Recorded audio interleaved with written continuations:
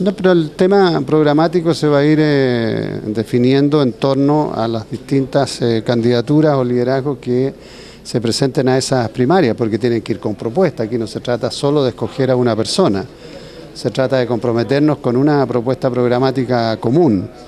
Y eso significa eh, que cada movimiento, cada partido, cada liderazgo lo va a ir expresando en ese proceso de primarias al cual después nos tenemos que comprometer eh, todos. Yo creo que ese es el mecanismo más, eh, eh, más práctico para ordenar lo que va a ser la propuesta de la oposición el próximo año.